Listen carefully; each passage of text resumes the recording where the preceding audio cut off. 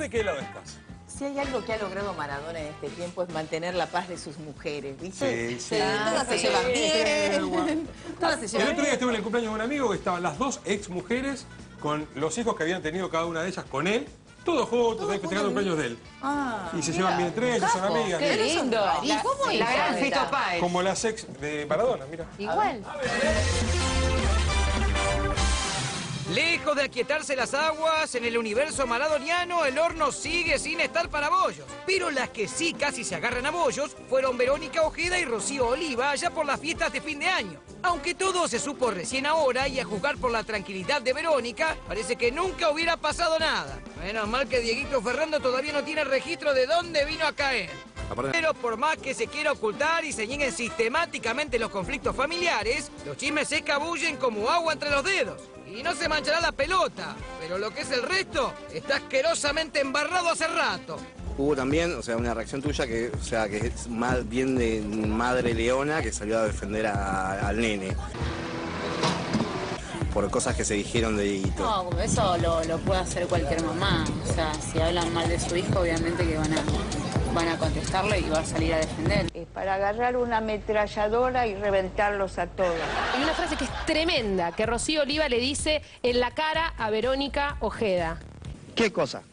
Este, ¿qué hace esta acá con este, lo digo, ¿eh? Pendejo de M. No tiene nivel. Rocío y Verónica Ojeda se trenzaron fuerte el día de Navidad. Verónica Ojeda esperó a salir a la vereda, y acá hay testigos vecinos que escucharon esta situación, y ahí le cantó las 40 a Rocío Oliva.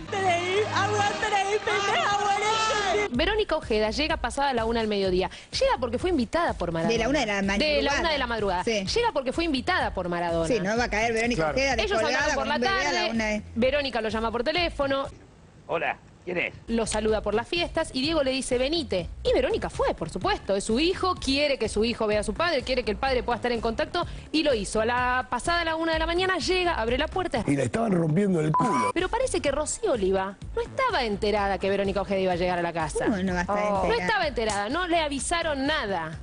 Sí le avisaron, creo, a Dalma Maradona.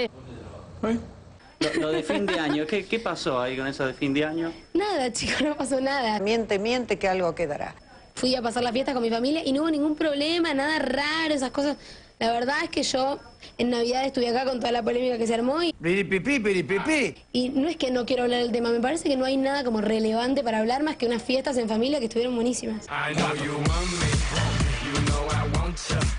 Si sigue hablando esta chica de, mi hijo, por supuesto, en esa voz eh, eh, eh, van a hacer algo, no sé, pero eh, la verdad que me pone muy mal lo que... Mucho gusto, muchachos.